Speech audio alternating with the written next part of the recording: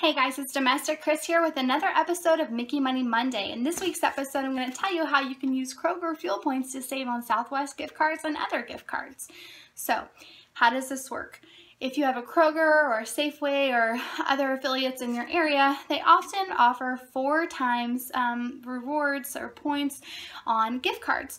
And when they do that, you can maximize your fuel savings and then you save the money that you would have spent on gas in your Disney fund. For example, if you were to buy $250 worth of Southwest gift cards, Target gift cards, Disney gift cards, any kind of gift card that you like, you will get 1,000 points. Um, and then you can use that as a $1 off per gallon at your gas station. Now, some people have um, where they can use Shell nearby and they're only allowed to use up to 10 cents. This isn't an offer that is available to people who don't have Kroger's in their area, and I'm sorry.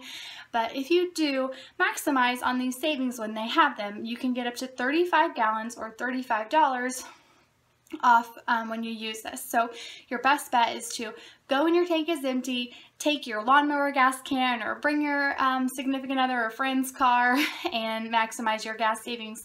And that's more than 10% if you only bought $250 worth of gas uh, gift cards and you got $35 back.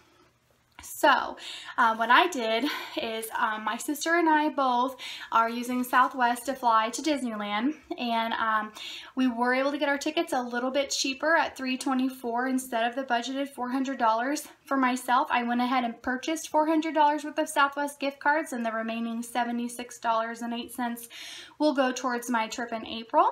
Um, but I used my Kroger card for mine and I used her Kroger card for her so that we can each get the savings on our accounts um, because I don't know, I didn't need $2. I wanted to share it with her um, since it, she bought her own tickets.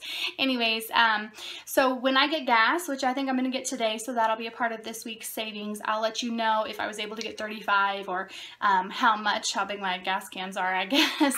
Um, and I'll let you know what my savings were for that. So that's a way that you can save is save whatever money you're saving from your gas budget on using these fuel rewards, put it in your Disney fund or whatever you're saving for, and um, enjoy your savings for your trip. So that's all I have for this week. I saved this week $15 in Texas Roadhouse. Uh, we've taken kids with us. We love to go there. $3 for M-Perks. My husband's Groupon account had a few, bought a $10 Starbucks gift card for $5. So I saved the additional $5 that I was saving. Um, I'm hoarding these Starbucks gift cards on one digital card in my app and I plan on using those to buy the You Are Here from all the Disney parks and um, put those mugs in a collection. I also had $3.40 for two freebie drinks. My husband had earned a Mountain Dew and a Snapple um, from Speedway. So I paid myself for those.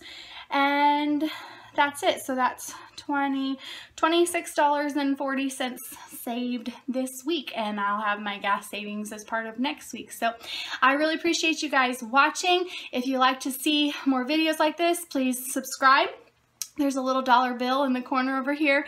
You can click that button and easily subscribe. Please comment and let me know. Do you have a Kroger in your area? Is this a way that you save for your Disney trip or other trips? Um, if not, is this news to you and you're going to start doing it now?